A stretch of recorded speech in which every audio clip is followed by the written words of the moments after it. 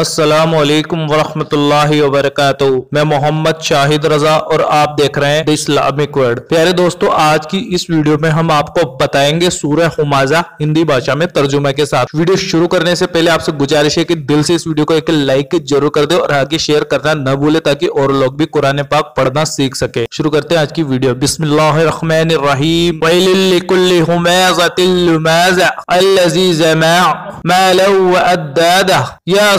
अन मैल अखलदा कल्ला बजन्ना बिलहुतमा व मैं अदराक मलहुतामा नारुल्लाहिल मुकदा अल्लती तत्तलियु अलल अफीदा इन्नहा अलैहिम यूसदा फ़ी अमदिम मुमद्ददाहा तर्जुमा हर उस शख्स के लिए बर्बादी है जो पीठ पीछे ऐब लगाने वाला और मुँह पर ताना देने वाला हो जिसने माल जमा किया हो और गिन गिन कर रखता हो। वो समझता है कि उसका माल हमेशा उसी के साथ रहेगा, हरगिज नहीं।